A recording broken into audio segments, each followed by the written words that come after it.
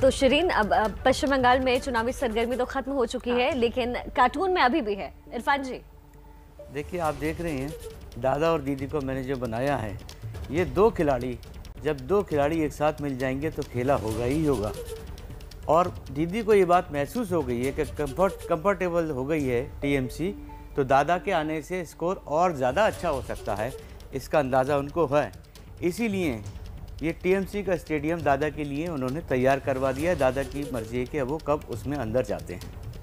तो लीजिए इस चुनाव में दादा शामिल ना हुए ना सही लेकिन ये जो तैयारी है ना वो अगले चुनाव की है। बहुत बहुत शुक्रिया इरफान जी।